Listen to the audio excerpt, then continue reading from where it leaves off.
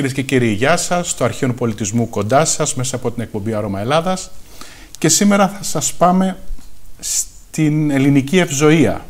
Το Ευζήν, το αρχαίο ελληνικό Ευζήν, που το δανείσαμε στους άλλους και δεν μας γύρισαν πίσω ποτέ τα δανεικά αυτά. Γιατί το λέω αυτό, διότι οι χώροι, είχαμε χίλια ασκληπία, ας πούμε, γύρω από τη Μεσόγειο τουλάχιστον. Οι χώροι αυτοί λοιπόν τι ήταν, οργανωμένοι ε, με μια ιερά γεωμετρία, μετρημένοι και με βάση τα υπόγεια ή τα υπέργεια ύδατα, με τη ροή που είχαν, την γεωμετρία του χώρου, τον τρόπο ζωής μέσα σε αυτά, άσκησης, ε, αλλά και διατροφής, βρώσης και πόσης, συν την πνευματική τροφή, το θέατρο, τη μουσική και οτιδήποτε άλλο, έκαναν καλό, τουλάχιστον καλό στον άνθρωπο, να μην πω ότι θεράπευαν και πολύ δύσκολα πράγματα. Γιατί τα λέω όλα αυτά; Μα γιατί έχω κοντά μου σήμερα τον αγαπημένο μου φίλο, τον παιδικό μου φίλο, τον κρατερό τον Κατσούλη. Γεια σου κρατερέ. Αγαπημένο μου, καλησπέρα. Είναι μεγάλη μου χαρά και που επιτέλους ε, βρισκόμαστε και εδώ μαζί μετά από τόσα χρόνια και μετά από τόσες χιλιάδες ώρες κουβέντας που έχουμε κάνει για όλα αυτά τα πράγματα που αγαπάμε από κοινού και για όλα αυτά τα υπέροχα, για όλη αυτή την υπέροχη γνώση που γεννόδωρα μου έχεις χαρίσει και είμαι πολύ χαρούμενος που βρισκόμαστε εδώ πέρα για να συζητήσουμε. Μόντους βιβέντη. Μόντους βιβέντη. Τρόπος ζωής. Τρόπος ζωής, έτσι λέμε. Δηλαδή υπάρχει και μη τρόπος βασικά, δηλαδή τρόπος είναι να κάνεις τροπή, ε, να κάνεις ανατροπή. Αυτή είναι η, η ιδέα, ε, θεωρώντας ότι ο τρόπος ζωής μας πια στην καθημερινότητα ε, έχει επιβληθεί με έναν συγκεκριμένο, με, με, με συγκεκριμένες συνθήκες Άρα, αναγνωρίζοντας αυτές τις συνθήκες, ο χώρος μας, το Modus Vivendi, ο χώρος που δημιούργησα, ε, προτείνει έναν διαφορετικό τρόπο ή μάλλον διαφορετικούς τρόπους. Σκοπός όλης αυτής, όλου αυτού του εγχειρήματο είναι να προσφέρει ε, κάτι στον καθένα μας που να κάνει την καθημερινότητά του πρακτικά πολύ πιο όμορφη. Κάτι που ήξεραν οι παλιοί και οι αρχαίοι και οι παλιότεροι από εμάς και ο μπαμπάς σου και ο παππούς και η προπαππούς σου προφανώς θα το ήξερε. Αλλά κάτι έγινε στην πορεία εμείς και το χάσαμε. Μάλλον... Κοινωνικοποίηση έγινε στην πορεία. Είναι; Κοινωνικοποίηση έγινε ναι. στην πορεία. έγινε μια.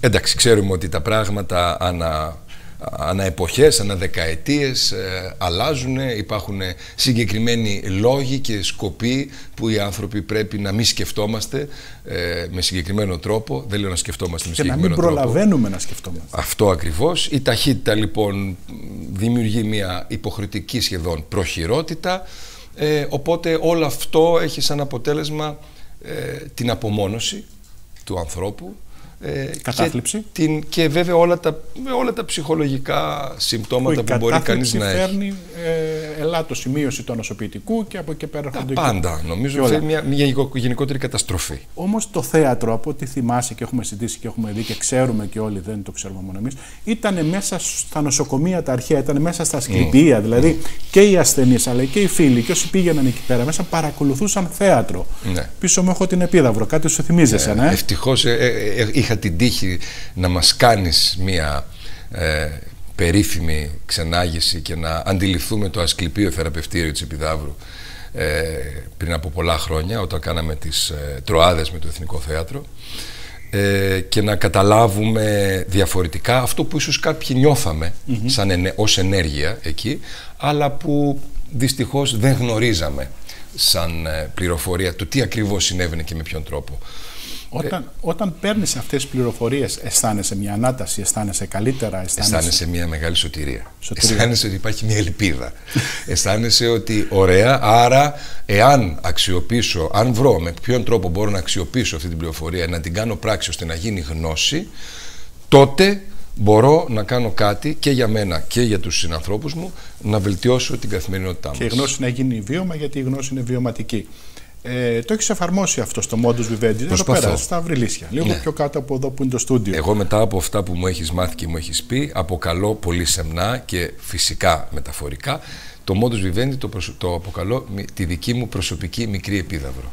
Ναι. Εννοώντας ότι είναι ένας χώρος, ας το πούμε, ε, που λειτουργεί θεραπευτικά. Ακριβώς. Ε, και αυτό είναι το σημαντικότερο από όλα, γιατί αν δεν βρεις την εσωτερική σου ηρεμία, τους εσωτερικούς ρυθμούς, δεν πρόκειται ποτέ να πετύχεις και να κάνεις πράγματα. Εσύ όμως είσαι ένας άνθρωπος που είχες και έχεις βέβαια έντονη ζωή, αλλά και μια ζωή που σε πίεζε με χρόνους, χρονοδιαγράμματα, mm-hmm. πρόβες, το ένα, το άλλο. Αυτό δεν θα σε βοηθούσε τότε να ρυθμιστείς, να βρεις τον χρόνο σου. Άρα λοιπόν ο κάθε άνθρωπος ο οποίος έχει μια καθημερινότητα που τρέχει και δεν φτάνει, όταν ρωτάς τον άλλο τι κάνεις, λέει τρέχω. Mm-hmm. Που τρέχεις, δεν ξέρω να σου πει. Το θέμα δεν είναι που τρέχεις, είναι γιατί τρέχεις νομίζω. Ναι. Το ερώτημα δηλαδή, που πρέπει να, κάποια στιγμή να θέσουμε όλοι στον εαυτό μας, με πολύ αγάπη, είναι γιατί τρέχουμε. Όχι που τρέχουμε. Το τρέχουμε, τρέχουμε. Ωραία γιατί τρέχουμε. Για να καταλάβουμε, νομίζω, εάν εκεί που τρέχουμε είναι η κατεύθυνσή μας, είναι η επιλογή μας, είναι εκεί που η ψυχή μας νιώθει καλά και ευτυχής ή όχι. Και από εκεί και πέρα να κάνουμε σιγά σιγά, βήμα βήμα, τις, α, τις όποιες μικροαλλαγές απαιτούνται για να είμαστε πιο Θεω, Θεωρείς ότι αυτό που είπες, ο κόσμος μας ακούει τώρα, χιλιάδες κόσμος μας ακούει αυτή τη στιγμή, έτσι σε όλη την Ελλάδα, τουλάχιστον θεωρείς ότι λέει, τι λένε αυτοί οι δύο τρελοί εκεί πέρα Όχι. ή προβληματίζουμε τον κόσμο. Εγώ νομίζω ότι οι, οι, όλοι οι άνθρωποι όταν βρουν λίγο το χρόνο να σκεφτούν ε, καταλαβαίνουν, νιώθουν, ξέρουν από, από, από παλιότερα, ήδη ξέρουν τι είναι καλύτερο για αυτούς. Το πρόβλημα είναι στη σημερινή μας εποχή, ένα, μία από τις δυσκολίες της σημερινής εποχής είναι η, η πληθώρα πληροφορίας η φασαρία αυτή mm. η πληροφορίας. Όταν λοιπόν σταματήσει κανείς, κάνει μία μικρή παύση, δεν θέλει παραπάνω από δύο λεπτά στην αρχή του για να σκεφτεί λίγο τι, τι, με, κάνει, τι με κάνει να νιώθω καλά. Τι είναι αυτό που χρειάζομαι στην πραγματικότητα; Ε, αυτά τα δύο λεπτά φτάνουν για να απαντηθεί αυτό. Το υπόλοιπο μετά είναι θέμα επιλογής όμως, σαφώς. Το αν θέλω να αφιερώσω. Να μετά... πάρεις την απόφαση να, ναι. ή να την πετάξεις. Ναι. Ε, είναι, είναι αλήθεια όμως ότι δεν χρειάζονται. Γιατί πολλές φορές οι άνθρωποι φέρνουμε σαν δικαιολογία την έλλειψη χρόνου που έχουμε. Κατανοητό. Όταν όμως μιλάμε για 5, 10, 15 λεπτά την ημέρα εν αρχή για να μπορέσουμε να νιώσουμε πιο συγκροτημένοι και πιο ισορροπημένοι, νομίζω ότι αυτά τα 15 λεπτά, αν μη τι άλλο, πρέπει να, τα, πρέπει να μπορούμε να τα προσφέρουμε στον εαυτό μας. Εάν δεν μπορούμε αυτά τα 15 λεπτά, κάτι έχουμε κάνει λάθος έτσι κι αλλιώς. Οπότε αυτό πρέπει να το, πρέπει να το ρυθμίσουμε. Θέατρο; Ως, Θέατρο... ως, ίαση. Μην μου το πας ναι. στα επαγγελματικά. Όχι, όχι, όχι, δεν θα στο πάω στα επαγγελματικά. Ως ίαση. Έχεις ε, παίξει ε, κάτι, έχεις ε, ασχοληθεί στο σανίδι με κάτι που να λες Αχ, μου κάνει καλό μέσα μου αυτό τώρα. Δεν, ναι. Συγγνώμη. Πιο πολύ έχει να κάνει αυτό με, τις, ε, με αυτό που αισθανόμουν ότι ε, κέρδιζα από τις συνεργασίες μου με ανθρώπους, από τις σχέσεις μου με τους ανθρώπους, όχι με το ίδιο το αντικείμενο, Φυσικά, δηλαδή με ένα σπουδαίο έργο ή με ένα σπουδαίο συγγραφέα. ή ένα σκηνοθέτη. Ναι, Φυσικά εμένα πάντα με ενδιαφέρε... το θέατρο είναι ομαδική εργασία, έτσι δεν είναι; Και, ναι, αλλά υπάρχουν διάφορες προσεγγίσεις. Εμένα αυτό πάντα που με ενδιαφέρει στο θέατρο ήταν πάντα και αυτό ρώταγα πάντα στι δουλειέ μου και ρωτάω ακόμα είναι ποιοι θα είμαστε; Όχι τι θα κάνουμε. Όχι ποιος θα, ποιο είναι το έργο ή ποιος είναι, ποιος είναι ο σκηνοθέτης βεβαίως, γιατί είναι μέσα στο ποιοι είμαστε. Αλλά πρώτα απ' όλα είναι ποιοι είμαστε, ποιοι άνθρωποι θα βρεθούμε, θα συνυπάρξουμε για να συνδημιουργήσουμε. Και από εκεί και πέρα όλα τα υπόλοιπα θα τα βρούμε ή δεν θα τα βρούμε, είναι μια άλλη ιστορία. Το θέατρο και οποιαδήποτε μορφή τέχνης για μένα ήταν, και ήταν κάτι που είχα πει και την ε, περίοδο της καραντίνας με όλο αυτό το ε, παράλογο lockdown που είχε επιβληθεί στα θέατρα ήταν ότι κατά τη γνώμη μου αυτό που μας διαχωρίζει από τα υπόλοιπα ζώντα όντα ε, στον κόσμο μας είναι η ανάγκη του ανθρώπου να εκφράσει τα βαθύτερα συναισθήματά του. Αυτό λοιπόν το κάνει με την τέχνη. Εάν αφαιρέσουμε λοιπόν από τον άνθρωπο τη δυνατότητα να εκφράζεται και να εκφράζει τις εσωτερικές του ανησυχίες, του αφαιρέσουμε λοιπόν την τέχνη από τη ζωή του, του αφαιρέσουμε και οποιαδήποτε μορφή ε, άθλησης, κίνησης, τότε απλώς εξισώνεται με τα υπόλοιπα ζώντα όντα, ε, τα οποία δεν λειτουργούν. Όμως, με, αυτή την, με, αυτή, με αυτόν τον τρόπο που είμαστε εμείς, επιβιώνουν. Και ισχύουν και άλλοι κανόνες. Πιθαγόρας το έχει πει πολύ απλά, αυτό που είπες όλο αυτό, ρυθμός και αριθμός. Όλα τα πράγματα είναι ρυθμού, ε, θέματα σχέσεων ρυθμού και αριθμού. Όταν αυτό που σήμερα λέμε βιορυθμός. Ναι. Έτσι, πολύ απλά. Ε, αυτά ήταν γνωστά. Και σήμερα υπάρχουν προγράμματα στα πανεπιστήμια που τα τρέχουν αυτά. Παίρνουν τα αρχαία κείμενα, είτε διαβάζοντας, κάνοντας ανάγνωση όμοιρο 20 λεπτά την ημέρα, είναι αρκετό για να θεραπεύσεις πολλά πράγματα, δυσμαθία, δυσλεξία κλπ. Ε, διαβάζοντας τα χρυσά επί του Πυθαγόρα, έχουμε καθηγητές εδώ πέρα που έχουν πει ότι εφαρμόζονται προγράμματα στα πανεπιστήμια που σε κάνουν καλύτερο, που σε κάνουν. Ε, Μήπως θα έπρεπε να είναι από το δημοτικό; Αυτό ήθελα να σου πω τώρα. Γιατί Για σένα η παιδεία μέχρι να φτάσουμε στο πανεπιστήμιο έχει περάσει πολύ καιρός. Θα έπρεπε νομίζω ε, το θέατρο και γενικότερα η, η φιλοσοφία με έναν τρόπο, προφανώς προσαρμοσμένη στην ηλικία που απευθύνεται, να, να είναι όμως από την πρώτη δημοτικού. Αυτό σημαίνει εκπαίδευση. Ξέρω, ξέρω και για μένα και για σένα το άγχος μας και η έγνοια μας είναι τα παιδιά. Τι, τι κόσμο αφήνουμε στα παιδιά, πώς ζουν τα παιδιά τα σημερινά κλπ. Πώς θεω, τι θα έκανες εσύ, ας πούμε, αν ήσουν με ένα μαγικό ραβδάκι ένας υπουργός παιδείας, μάλλον, μάλλον ή στο Υπουργείο Παιδείας, γιατί υπουργό δεν σε βλέπω. Συγγνώμη. Παρακαλώ, δεν είναι θέμα. Ούτε, εγώ, ούτε εγώ με βλέπω. δεν σου πάει. Αλλά σε μια θέση πάντως σε ένα Υπουργείο που θα ήσουν υπεύθυνος για τα θέατρα ή τα θεατρικά στα σχολεία, στη δημόσια ε, παιδεία. Θα, θα έβρισκα τον τρόπο να. θα έψαχνα να βρω, θα έφτιαχνα μια ομάδα καταρχάς ανθρώπων. Mm -hmm έτσι, οι οποίοι να έχουμε όλοι κοινό όραμα. Και το όραμα του κοινό θα έπρεπε να είναι πώς θα βάλουμε το θέατρο και, ό,τι, και την τέχνη γενικότερα, την ενασχόληση, την αντίληψη της τέχνης στο, ε, στα, πρώτα πρώτα βήματα, στις πρώτες πρώτες τάξεις του σχολείου, στο νηπιαγωγείο, ε, με ποιον τρόπο θα γίνει ώστε τα παιδιά να αρχίσουν να μπαίνουν σε αυτή τη διαδικασία και να αρχίσουν να σκέφτονται μέσα από αυτό το, μέσα από αυτό το πρίσμα. Και δεν είναι τυχαίο που ε, επίσης επιστημονικά και εσύ το ξέρεις καλύτερα έχει αποδειχθεί ότι όλοι οι άνθρωποι ανεξαρτήτου ηλικίας μαθαίνουν το οτιδήποτε καλύτερα μέσα από το παιχνίδι και από το θέατρο. Μα συγγνώμη, αλλά η λέξη παιδί και παιχνίδι έχουν την ίδια ρίζα. Και επίσης εμείς οι ηθοποιοί λέμε κάθε φορά, ρωτάμε ένα τον άλλον, πού παίζεις φέτος, πού παίζεις του χρόνου; Σωστό. Κάτι που εμείς οι ίδιοι Τι παιχνίδι κάνεις πολλές φορές ξεχνάμε την, το ρήμα παίζω, το αγνοούμε και ε, υπάρχουν όλα τα υπόλοιπα που ε, συμβάλλουν στο να νιώθουμε όλη αυτή την ένταση, την αγωνία και την, ε, την προσμονή, το πώς θα γίνει, τι θα κάνουμε κτλ. Και, και αφήνουμε το παιχνίδι και τη χαρά δηλαδή απ' έξω. Συνολικά όλα αυτά που είπες με μία λέξη τα βρίσκει κανείς στο μόντους. Ναι, τα βρίσκει. Γιατί αυτό που, μας, αυτό που έχουμε φτιάξει και αυτό που έχουμε καταφέρει είναι ε, το, στο κομμάτι που έχει να κάνει με το παιδί από πολύ μικρές ηλικίες, από εβδομάδων ακόμα, με την παρουσία των ε, γονέων ενός εκ των δύο τουλάχιστον, ε, σε συνεργασία με την θεατρική ομάδα Μικρός Νότος, που έχει αναλάβει όλο το κομμάτι αυτό, μέχρι τη έκτη δημοτικού, που έχει σχέση με το θεατρικό παιχνίδι και γενικά με τη θεατρική παιδεία. Και από εκεί και πέρα για τους ενήλικες έχουμε διάφορα και διαφορετικά είδη σεμιναρίων, που ουσιαστικά όμως ε, καλύπτουν κατά έναν τρόπο ή προσεγγίζουν αν θες με διαφορετικούς τρόπους τον άνθρωπο, την έκφρασή του και την ανάγκη του να κατανοήσει τα συναισθήματά του. Είτε αυτό είναι με σεμινάρια όπως είναι το, το δικό μου που κάνω τα τελευταία 15 χρόνια, το λόγο στο σώμα, σώμα στο λόγο. Ήθελα να τον ξαναπείς αυτός το τίτλος. Μ' άρεσε από την ναι. πρώτη στιγμή που το είδε ευρηματικότατος και κυριολεκτικότατος αν υπάρχει ε, όρος. Ή, ήμουν τυχερός όταν το σκέφτηκα ε, γιατί στην προσπάθειά μου να δώσω ένα τίτλο κάπως συνοπτικό, κάπως ε, με κάποια προσπάθεια επεξήγησης αλλά όχι να πλατιάσει. Ε, σκέφτηκα ότι αυτό που ουσιαστικά που κάνουμε εμείς στο σεμινάριο είναι να δώσουμε λόγο στο σώμα, δηλαδή την ευκαιρία στο σώμα να μιλήσει, ώστε όταν έρθει η σειρά του λόγου να έχει περάσει μέσα από το σώμα για να έχει μια συνέπεια, να έχει μια συνάφεια αυτό το πράγμα.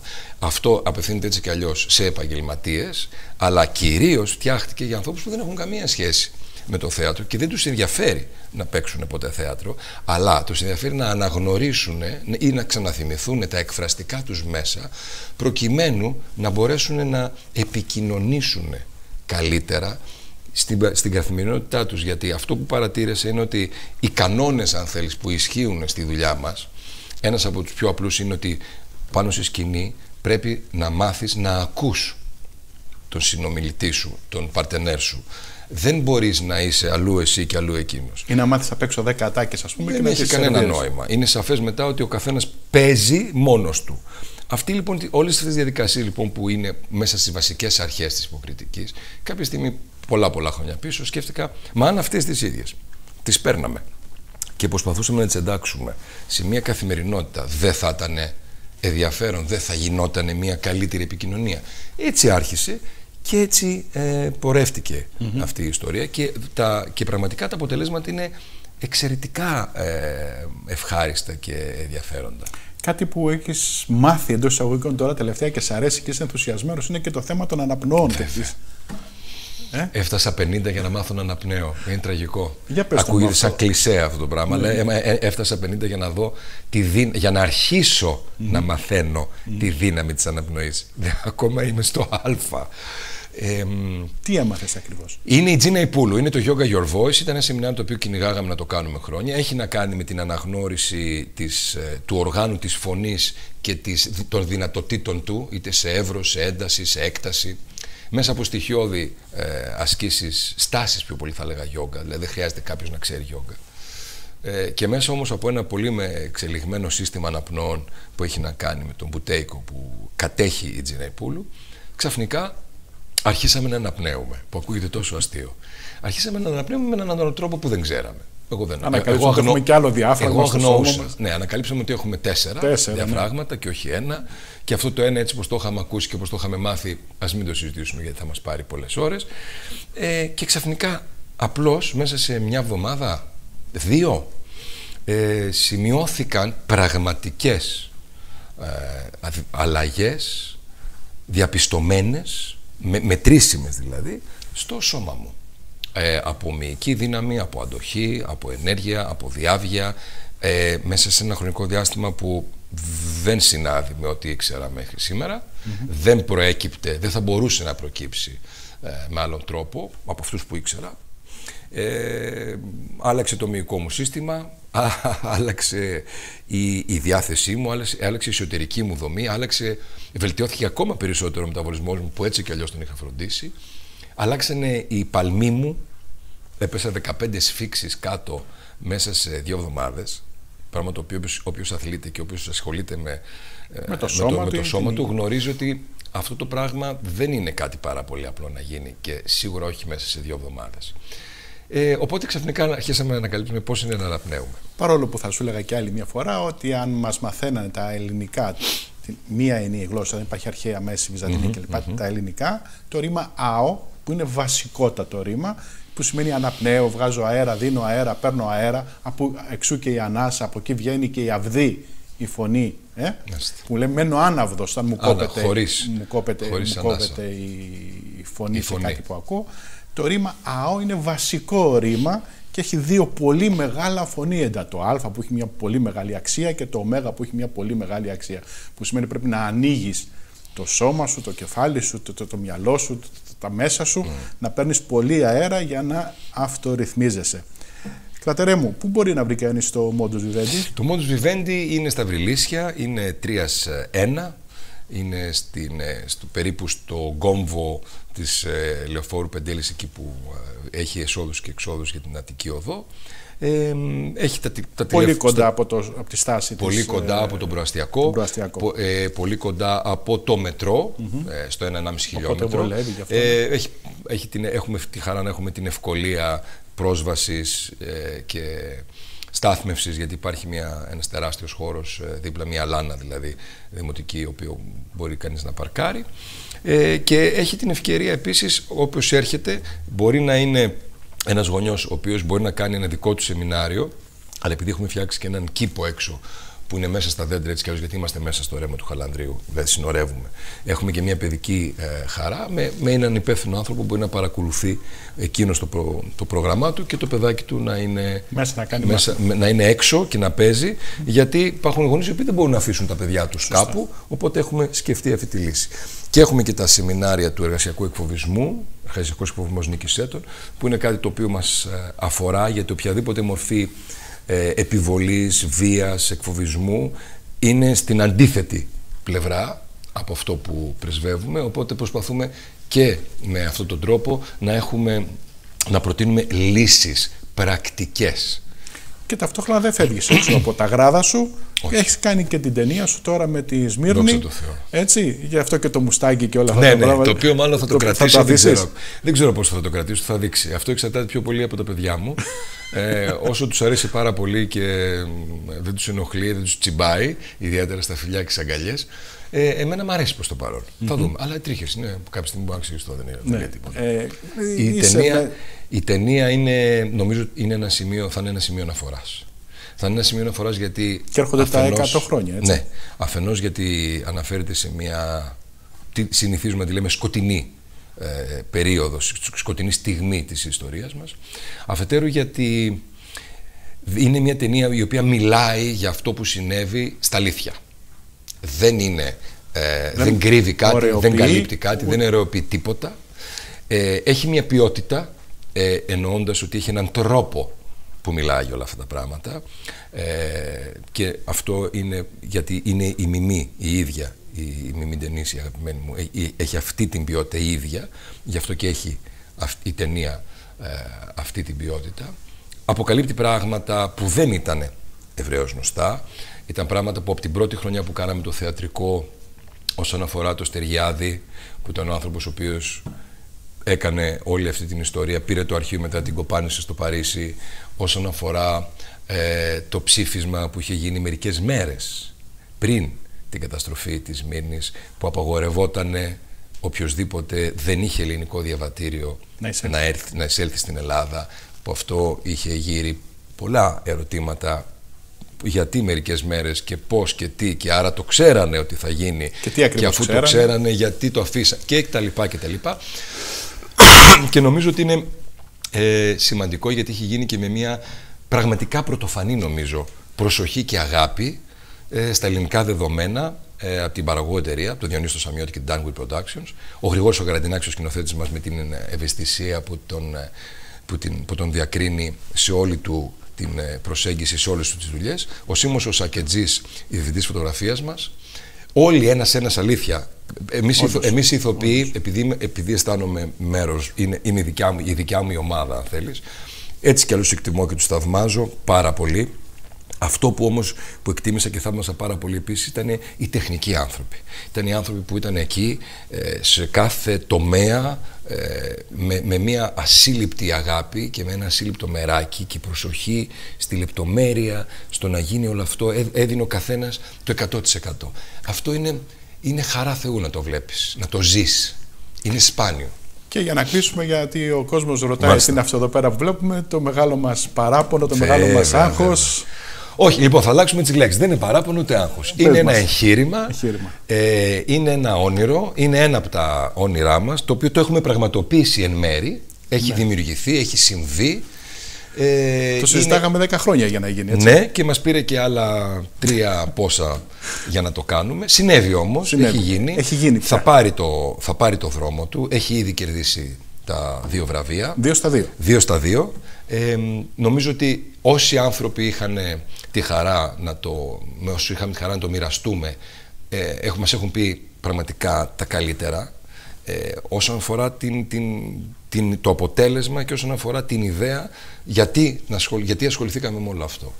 Και νομίζω ότι είναι θέμα, πώς να σου πω, ε, όχι, αν όχι ημερών, ε, αν όχι μάλλον με λίγων μηνών, είναι, μπορεί να είναι και ημερών στο να πάρει έναν άλλο δρόμο αυτό το πράγμα. Να πούμε ότι είναι ε, από τη σειρά stories, Mythological Mist, Mist που έχουμε κάνει και έχουμε σκεφτεί εμείς οι δύο πάρα πολύ μαζί με τον Χρήστο τον Πετρόπουλο, τον, Χρήστο, τον, Πετρόπουλο, τον σκηνοθέτη, σκηνοθέτη μας. Το έχουμε σκεφτεί πολλά χρόνια. Πώς λέει η γιαγιά μου, 10 να μετράς και μία να, να κόβεις. Ε, Πάντως υπάρχει λόγος να ασχοληθεί κανείς με την ελληνική μυθολογία. Υπάρχει σοβαρός ναι, λόγος να ασχοληθεί. Ναι, ναι. Και όχι μόνο από άποψη παιδείας. Από άποψη ε, παιδείας, κοίτα να δεις, όλες οι πληροφορίες βρίσκονται εκεί είναι, είναι, είναι θεμητό ή είναι κατανοητό στην εποχή της, ε, σε αυτό που λέμε εποχή πληροφόρησης που είναι πολύ κοντά στη, στην εποχή της παραπληροφόρησης επίσης γιατί είναι μαζί αυτά τα δύο είναι λογικό να βλέπουμε πράγματα και να ακούμε πράγματα που έχουν να κάνουν με άλλους λαούς, με άλλους πολιτισμούς και να τα ενστενιζόμαστε ή να μας ε, κάνουν εντύπωση. Ωραίο είναι. Είναι όμως λίγο κρίμα εάν κάτι που έχει πει, ξέρω εγώ, ο, ο Κουμφούκιος, παραδείγματος χάρη, το, ε, το, ε, το, έχει υποθεί ήδη ή κάποιος που έχει πολύ μεταγενέστερος από τους αρχαίους τους δικούς μας που μπορεί να ξέρουμε το δικό του απόφευμα ή να ξέρουμε τη δική του συλλογιστική να μην ξέρουμε του Πλάτωνα, να μην ξέρουμε του Αριστοτέλη, του Σοκράτη. Έτσι πορευτήκαμε με τον παιδικό μου φίλο, τον κρατερό τον Γκατσούλη κυρίες και κύριοι και φτιάξαμε αυτά τα, αυτή τη σειρά, τι μυθολογικές ιστορίες που θα τον δείτε σε λίγο ως άχρονο ταξιδιώτη του χρόνου και του σύμπαντος μέσα στα ελληνικά μυθολογικά επεισόδια. Ο κρατερός ο Κατσούλης λοιπόν όπως καταλάβατε έχει βρει έναν τρόπο να ζεις. Σας τον προσφέρει μέσα από το modus vivendi του ε, στα Βρυλίσια και εύχομαι κρατερέ όχι μόνο να πάει καλά το εγχείρημά σου, τα εγχειρήματά σου, γιατί έχεις ανοίξει αρκετά μέτωπα, ε, όχι μέτωπα συγκρούσεις εννοώ, ναι, ναι, ναι, ναι. τις κατευθύνσεις σου, εύχομαι όχι μόνο να πάνε καλά, αλλά τα αποτελέσματά σου να σου γυρίσουν και πίσω. Γιατί όταν κάνεις καλό, εισπράττει καλό. Σε ευχαριστώ πολύ. Το, το εύχομαι και εγώ, το πιστεύω και εγώ πολύ αυτό. Και να πούμε ότι ε, ξεκινάς και εσύ. Εντάξει, Ξεκινάς και εσύ το. Γιατί είναι επίσης κάτι που ψάχνουμε χρόνια να το και κάνουμε. Αυτό λέμε χρόνια να το κάνουμε. Ναι. Εν αρχήν είναι, είναι η σκέψη. Οι σκέψει. Οι σκέψεις, κύριε, σκεφτείτε. Αν δεν σκεφτείτε, δεν κάνετε τίποτα. Άμα σκεφτείτε, θα βρείτε και τους τρόπους. Με αγάπη και φως. Μάθετε να σκέφτεστε. Γεια σας.